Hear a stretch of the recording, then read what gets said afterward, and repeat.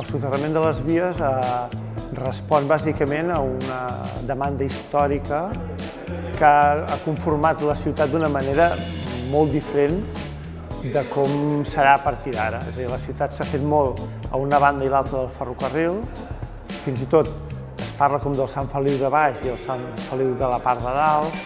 Eh, la, la línia de ferrocarril ha deixat la part històrica de Sant Feliu al sector sud i això permetrà plantejar-se no només una nova avinguda o un nou passeig, sinó fins i tot delimitar un nou centre de ciutat.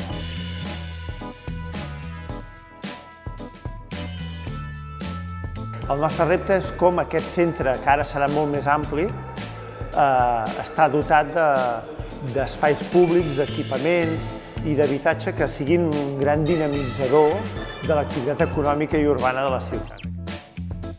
Que és el procés de participació m'ha semblat estupendo, perquè és una manera de que el ciutadà s'impliqui en el que volem que sigui el Sant Feliu del futur. El tema d'avui, que tractava de vivendes, d'equipaments de, i d'activitat comercial, és molt complexa perquè dintre del camp de la vivenda pues, penses en els joves, en la gent gran, en les famílies que no tenen vivendes, però sembla ser que hi ha suficient espai com per poder aconseguir un equilibri de totes les demandes que pugui tindre la ciutat. Ara estem a la, a la segona fase del procés. Hem començat eh, fa un mes i mig en la fase d'obertura que li dèiem, que era fer moltes activitats al carrer, eh, i sobretot els itineraris participatius i les sortides amb el carretó, i ara estem en una fase més eh, tancada, no? que estem fent tallers temàtics amb la ciutadania.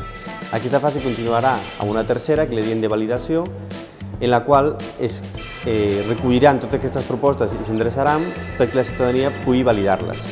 I finalment farem l'última fase, que és la de com la, la presentació dels resultats, en la qual la ciutadania podrà veure d'alguna manera recollit eh, quin és l'encàrrec final que farem als arquitectes que facin el concurs.